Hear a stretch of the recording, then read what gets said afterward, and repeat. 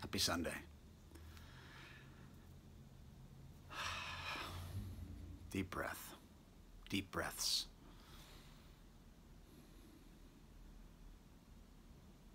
I slept late. Been sleeping a lot lately. Which, you know, I can't be very active, so doing my best to not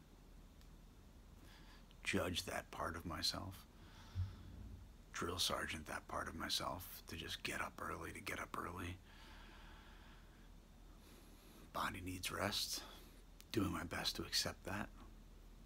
As I've gotten older, learning to rest has been a, a tough one or a, uh, a process, so to speak. Listening to my body has been a process. I come from that, you know, drill sergeant, go, go, go. No compassion, no time to rest, push through, shout in the face. That's, that's the inside. Yeah.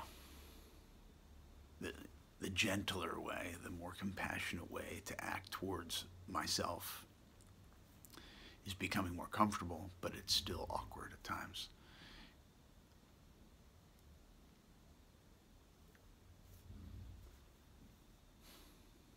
Grateful.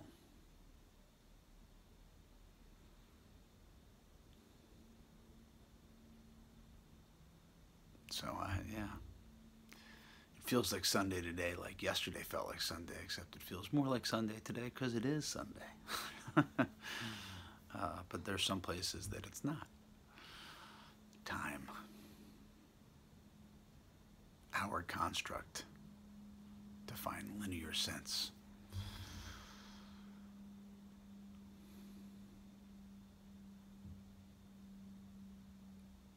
So have a fantastic day.